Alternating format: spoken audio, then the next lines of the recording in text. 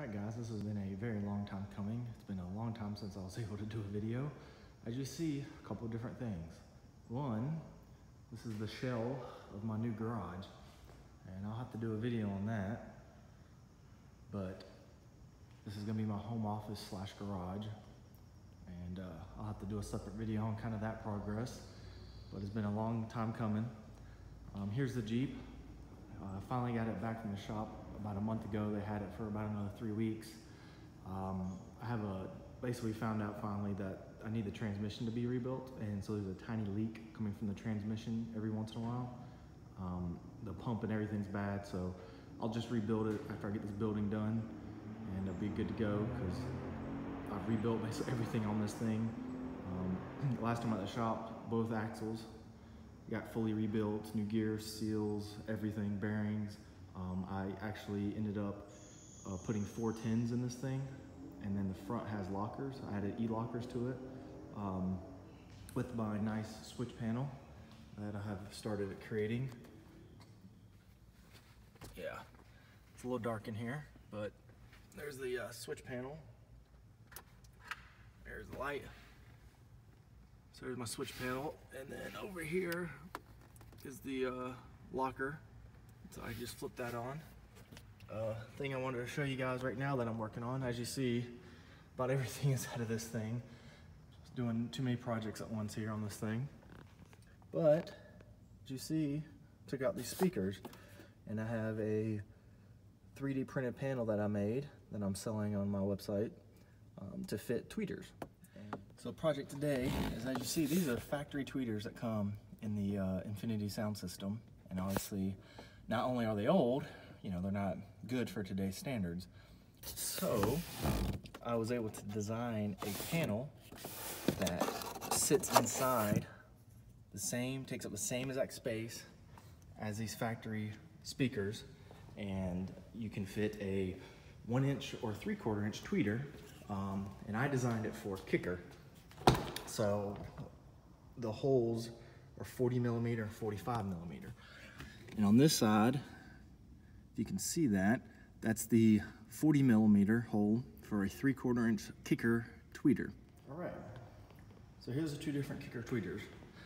This is the KS series, which I believe is next to the top of the line of kicker. Um, to me, for what this is, this is a trail rig uh, slash kind of daily driverish. So put out some nice sound. I'm gonna have a KS series six and a halves in the doors. Um, but you can kind of see how these tweeters fit nice and snug in this panel. They don't go past the factory uh, size on this. Because if I hold up one of these, you can see they're basically the same size. Uh, this one fills it out a lot more. Obviously this is a one inch tweeter, um, so this is a much bigger.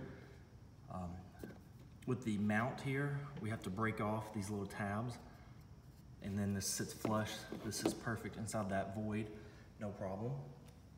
So my project today is I'm gonna take, this is the massive uh, filter for the tweeters.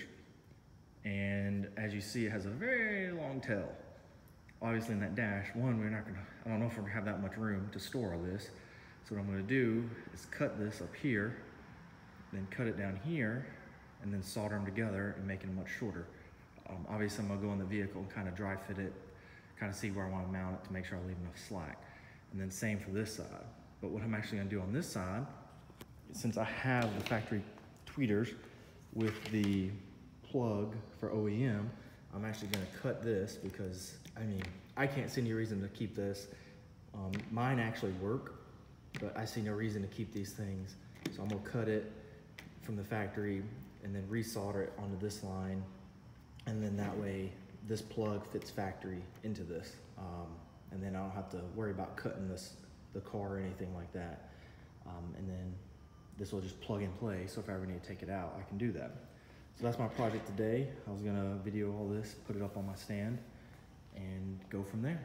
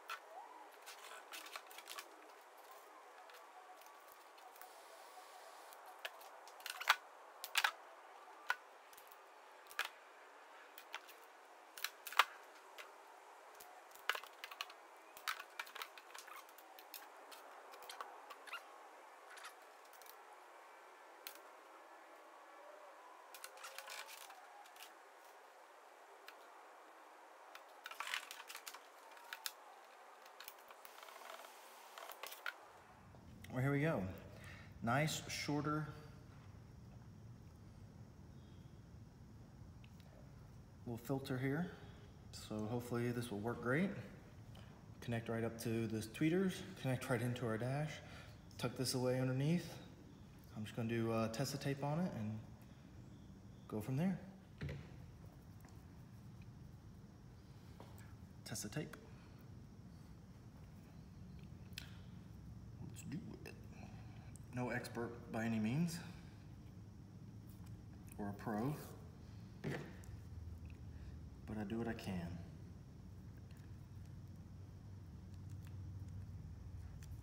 To try to keep this stuff looking decent. And at least look like, you know, I took a little bit of time and care for it.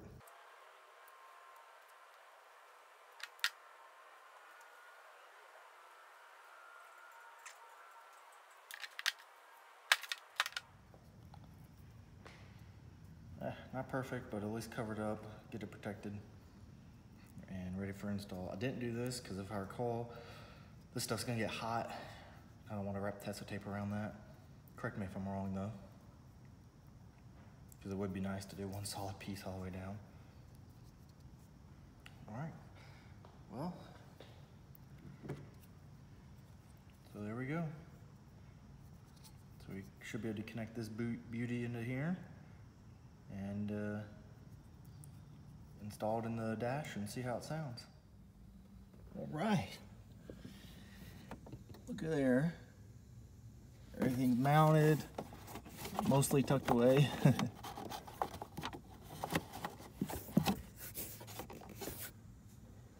think it looks good, nice and clean. Doesn't take up any more room than the factory. So I'm gonna put the panel back on. Here's the passenger side. Panel back on and uh, seal it back up. Finally get this Jeep back together. Here's my switch panels. Basically, these are blank. These are hooked up to the uh, waterproof relay box, ready to go, cables ready to go. Um, I just, you know, I don't know what I'm gonna do with them yet, so I just leave the face plates off.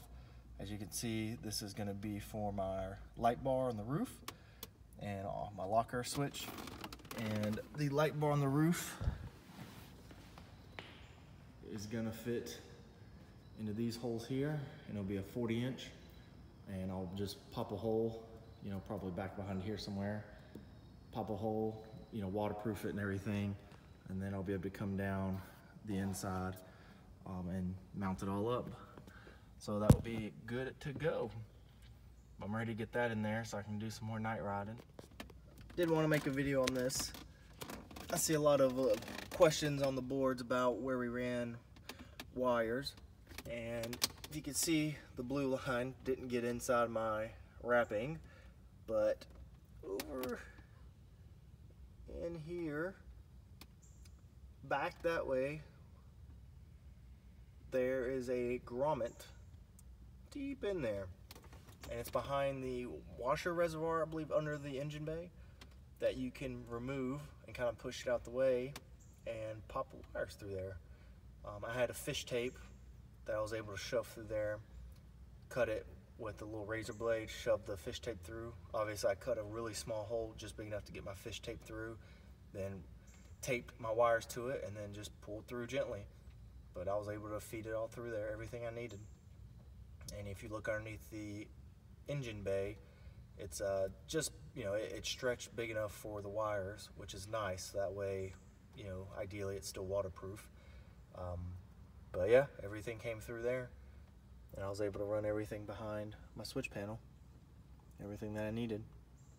And then if we keep going this way, maybe I'm crazy or, or however you want to put it, but I actually tapped into the Vic wire harness because it has an accessory wire that you know activates when the key is on.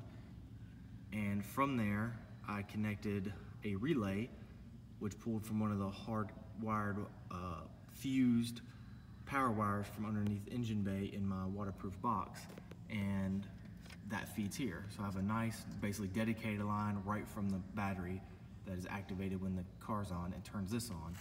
And as you see, I have, you know, I've uh, taped notes of what everything goes to.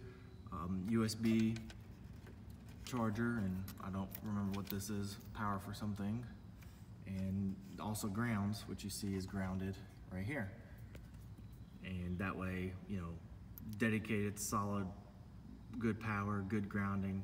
Um, you can see I kind of uh, even put a little protection on the metal here, so that way nothing was short out. You know, everything's tucked nicely in here.